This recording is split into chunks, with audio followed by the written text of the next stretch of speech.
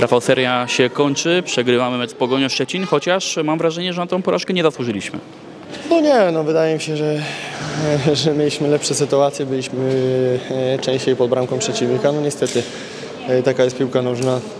Nie zawsze będąc e, lepszym się wygrywa i, i to jest piękno tego sportu, także bardzo żałujemy, walczyliśmy do końca, no ale, ale musimy dzisiaj przełknąć tą gorycz porażki.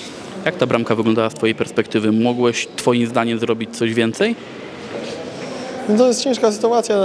Nie widziałem tej sytuacji jeszcze tak, yy, że tak powiem, na wideo. No, mam wrażenie, że z boiska, że gdyby Janasa tam nie było, to ja po prostu bym e, poszedł do tej piłki. No, że, że był Janas, no to ja zrobiłem naskok, ale też nie mogłem się rzucić w tamtą stronę, no, bo bym wpadł w Janasa, więc, no, więc taki, taki, taki niefart, gdzieś niefortunnie mu się ta piłka odbiła i niestety wpadła do bramki. To chyba teraz e, nawet lepiej, że kolejny mecz tak szybko był w piątek. No jasne, jasne. E, Czujemy się, czujemy się dobrze. E, Myślę, że było widać to na boisku. Jesteśmy dobrze przygotowani. E, No dzisiaj nie chciało wpaść, ale, ale tak, taki jest futbol. Mieliśmy fajną serię 20 meczów, czy 21 z bramką. Teraz nie strzeliśmy gola, ale nic, jak to mówi trener, to już spadło i, i patrzymy teraz na następny mecz.